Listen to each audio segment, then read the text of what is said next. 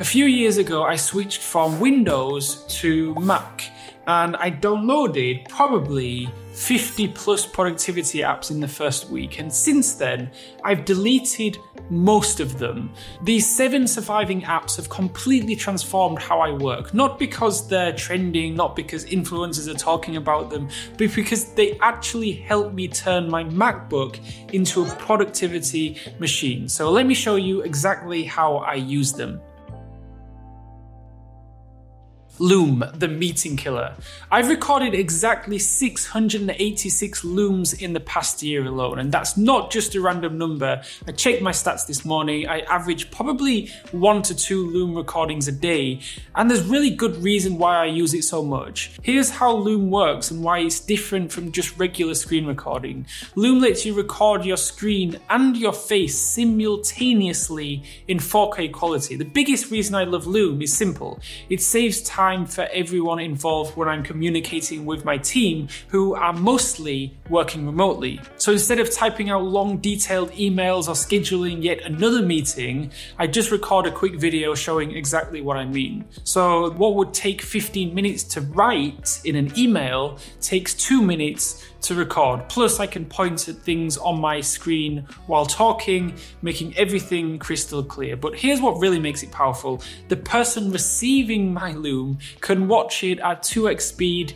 and they can pause it when they need to take notes or rewatch sections they didn't catch the first time. So, no more sitting through an hour long meeting filled with off topic discussions or waiting for everyone to join the call. I record my Loom once, they watch it when it suits them, when it's my employees employees, prospects, clients, business partners, whatever, and we both get back to actual work. It's that simple.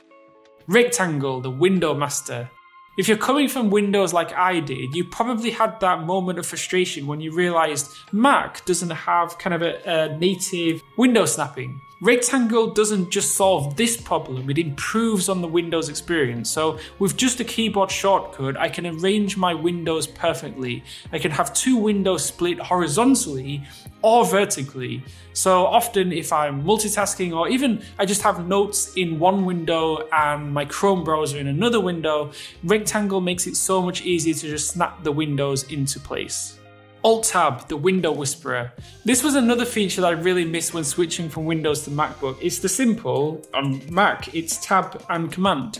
So this is one of the first apps I installed, and three years later, it's still running every single day. I use it multiple times a minute when I'm on my laptop. I'm always switching from one Windows to another. So with Alt Tab, you have these window previews, so it kind of eliminates any guessing about which Chrome window you need to switch to, whether it's Notion, Microsoft Word, QuickTime, QuickTime Player, or oh, Chrome browser. But here's the real power move. You can customize the preview size, reorder your apps, and even exclude certain applications. For example, you could have yours set to ignore Spotify if you never need to preview your music window.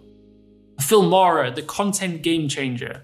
Let's talk about Filmora 14. And trust me, this isn't just another video editor. We've tested a lot of video editing software from free software all the way to super expensive software. But Filmora 14's new AI features, they're genuinely impressive for content creators. And by the way, if you're using Filmora 13 with a perpetual license, that's yours for life, including all the updates within version 13. But Filmora Filmora 14 is a different beast entirely. The jump to version 14 isn't just a, a few new buttons, they've rebuilt major features from the ground up, especially around AI capabilities. I'll show you what I mean. Here's a raw clip from a video that's been edited. Notice the awkward pauses, the lighting issues, and the rough transitions. Now, watch what happens when I run it through Filmora's AI Smart Short Clips feature. Not only does it fix these issues automatically, but it also creates multiple variations optimized for different platforms. But that's just scratching the surface. The real game changers are the AI powered features that save hours of editing time.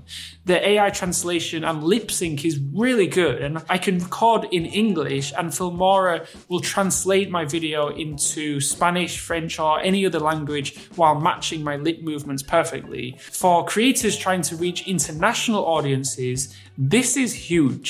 Then there's the smart scene detection. Instead of scrubbing through hours of footage, marking cut points, Filmora identifies the perfect edit point automatically.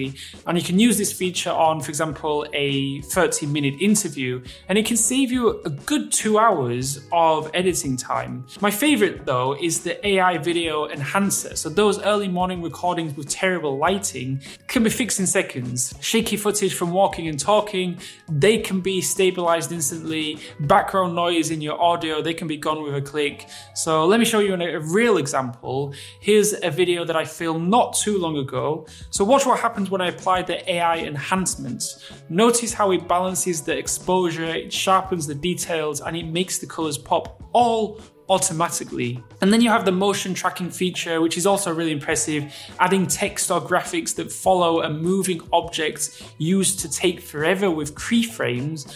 Now, two clicks and it's done. Perfect for tutorial videos or product demonstrations. And something that is I feel rarely talked about is Filmora's audio synchronization feature. So when I record tutorials, I often use my professional mic for better sound quality, which means I'm dealing with separate video and audio tracks. Instead of manually lining these up and hoping they stay synchronized, Filmora analyzes both tracks and matches them automatically. And even better, if the audio drifts out of sync partway through, which happens more often than you think, it can fix that too. It's not a, a, flashy feature, but when you're editing multiple videos a week, these small time savers add up to hours saved every month. So, what could take an entire evening of editing can now take less than an hour. The time saved makes it a no brainer investment for anyone creating content regularly. And if you are interested in checking Filmora out, you can get a 14 day trial to test everything I just showed you. I'll drop a link in the description below for you to check them out. Next up is Bartender, the cleanup crew. So let's talk about keeping your Mac clean and organized. Bartender might look simple, but it's kind of really nice for making my whole kind of workspace clutter free. So my menu bar is very clean and minimal, only showing what I need. But it, if I didn't have Bartender, my menu bar would look like this. And I just don't need all those icons right there staring at me while I'm working. But with one click, I can access every utility and tool I have in the bar. The real magic though is in the automation, which I didn't know about these automations until recently. So you can set it up so the Wi Fi icon, for example, only appears when there are connection issues, or the battery only appears if the battery is like under 20%. Xtiles, the Notion alternative for creatives. Xtiles is a collaborative workspace that adapts to the way you think. So it's kind of like Notion, but far simpler to use and more geared towards creatives and Gen Z. But Xtiles strikes the kind of perfect balance between functionality and simplicity. So when you open Xtiles, you're greeted with a clean blank canvas that doesn't intimidate. Instead, it kind of invites you to create. So whether you're managing projects, tracking habits, or organizing team collaborations, everything just feels intuitive and accessible. And I can set up an entire productivity system in Xtiles in under 15 minutes. And that's, I feel like, what makes it so powerful. My workspace includes things like monthly planning and goal tracking to meeting notes and habit management. But what's particularly impressive is their template library. So you don't have to start from scratch unless you want to, of course.